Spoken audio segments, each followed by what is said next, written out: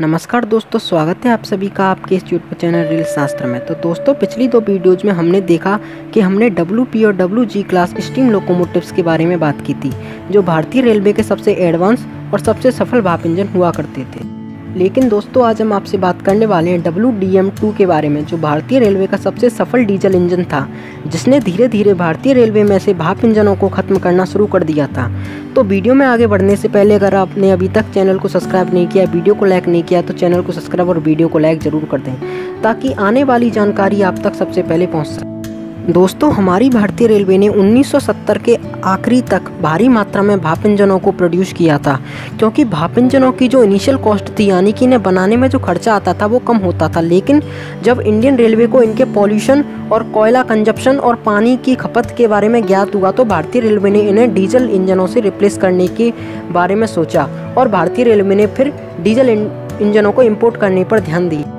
वो साल था उन्नीस सौ सत्तावन का, यानी कि आज़ादी के ठीक 10 साल बाद, जब भारतीय रेलवे ने अमेरिकन लोकोमोटिव कंपनी यानी एल्को से भारत के लिए पहला डीजल इंजन इंपोर्ट किया, जिसका नाम था W D M W D M one एक 1980 हॉर्स पावर का मिक्स्ड कैटेगरी का इंजन था, यानी कि यह इंजन पैसेंजर ट्रेन और मालगाड़ियों दोनों के लिए बनाया गया था। लेकिन इस इंजन का अधिकतर यूज़ मालगाड़ियों के लिए ही हुआ था। यह लोकोमोटिव की अधिकतम रफ्तार 105 किलोमीटर प्रति घंटा थी, जो कि उस टाइम के fastest engine W P class steam locomotive से काफ़ी कम थी।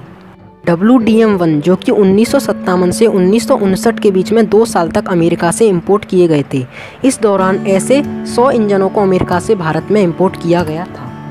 लेकिन भारतीय रेलवे की उम्मीदों पर पानी जब फिरा, जब भारतीय रेलवे को पता चला कि डब्ल्यू डी एम वन, जो भारतीय रेलवे का पहला डीजल इंजन है, वो कहीं ना कहीं डब्ल्यू पी और डब्ल्यू जी क्लास भाप इंजनों के सामने नहीं टिक पाया था, क्योंकि डब्ल्यू और डब्ल्यू क्लास लोकोमोटिव की हॉर्स पावर 2600 से ज़्यादा थी। वहीं डब्ल्यू क्लास लोकोमोटिव अधिकतम 110 से 115 किलोमीटर प्रति घंटा की रफ्तार से गाड़ियों को खींच सकता था। इसलिए रेलवे ने इस लोकोमोटिव को पर और ज़्यादा ध्यान नहीं दिया। और फिर डीजल इंजन के असफल होने के कारण भारतीय रेलवे की चिंता बढ़ती गई और ये चिंता लाजमी थी क्योंकि भाप इंजन चलते अच्छे तो थे, लेकिन वो पानी और कोयले की खपत ज़्यादा किया करते थे। और फिर वो साल आया 1962 का जब भारतीय रेलवे ने दो प्रोटोटाइप मॉडल एक अमेरिकन लोकोमोटिव कंपनी से और एक इलेक्ट्रिक मोटिव डीजल ईएमडी से इंपोर्ट किए। दोनों ही लोकोमोटिव इंडियन रेलवे ने इंपोर्ट किए। जो लोकोमोटिव एल्को से इंपोर्ट किया था, उसका नाम डब्ल्यूडीएम नाम दिया गया। डब्ल्यू टू नाम दिया गया उसे, जो 2600 हॉर्स पावर का इंजन था, जो 16 सिलेंडर चार stroke turbo super charge engine था। वहीं ईएमडी के डब्ल्यू की बात करें तो वो भी 16 सी तो 16 सिलेंडर टू स्ट्रोक का इंजन था। दोनों ही मॉडलों में से भारतीय रेलवे को किसी एक इंजन को मास प्रोडक्शन के लिए चुनना था। लेकिन गाइज़, इंडियन रेलवे ने ईएमडी के डब्ल्यू डी एम फोर की जगह एल्को का डब्ल्यू डी एम टू ही मास प्रोडक्शन के लिए चुना, जो कि भारतीय रेलवे में डोमेस्टिकली प्रोड्यूस किया गया।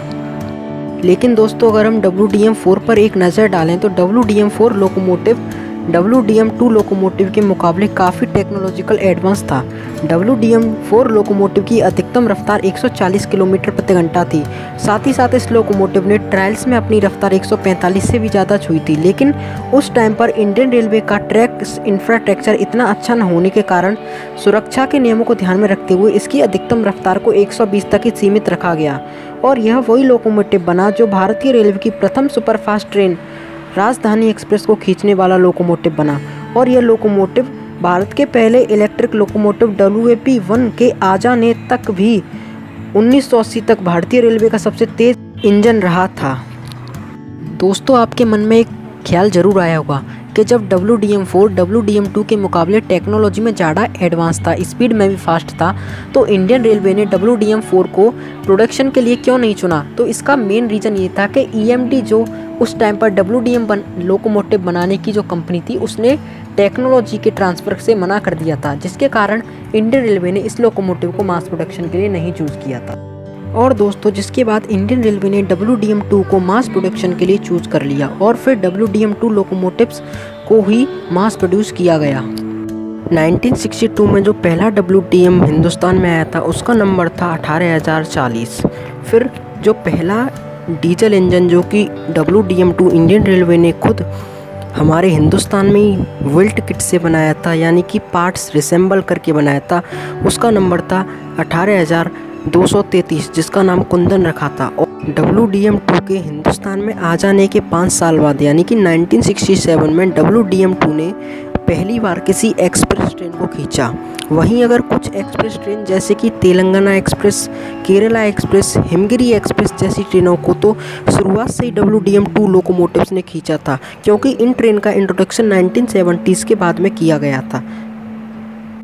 लेकिन 1985 तक भारत की 50 से 60 परसेंट एक्सप्रेस सुपरफास्ट ट्रेनों में W P class steam locomotive का ही यूज़ होता था। लेकिन 1985 के बाद डब्ल्यू डी एम टू ने स्टीम इंजन्स का सफाया धीरे धीरे करना शुरू कर दिया और इन लोकोमोटिव्स ने 1995 तक आते आते भारत में से भाप इंजनों को बिल्कुल पूरी तरीके से समाप्त कर दिया था।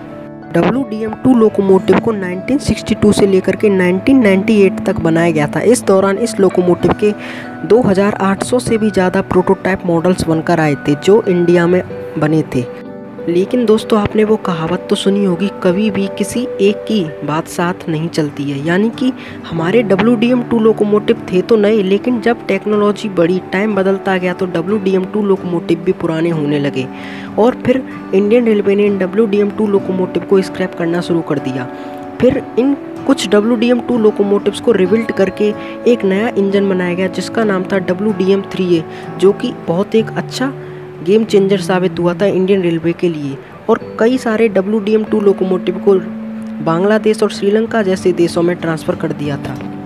डब्ल्यू डी एम टू के प्रेजेंट सिनेरियो के बारे में जाने तो आज भी 10 W D M two locomotives Indian railway ने प्रिजर्व करके रख रखे हैं और 10 से 12 लोकोमोटिव अब भी चलने की स्थिति में जो कि मेन लाइन ड्यूटी या फिर सेंटिंग ड्यूटीज़ में दिखाई देते हैं। टेक्नोलॉजी के ट्रांसफ़र ने उस टाइम के मॉडर्न डब्ल्यू डी को भी पुराना बना दिया और इस स्थिति तक लाकर पहुँचा दिया। तो दोस्तों, आज के लिए इस वीडियो में इतना ही। अगर आपको हमारी वीडियो पसंद आई हो तो वीडियो को लाइक, चैनल को सब्सक्राइब करना ना भूलें और कमेंट सेक्शन में हमें ज़रूर बताएँ कि आपको हमारी ये जानकारी कैसी लगी। मिलते हैं किसी और वीडियो में। तब तक के लिए जय हिंद, जय भारत, एंड टेक केयर।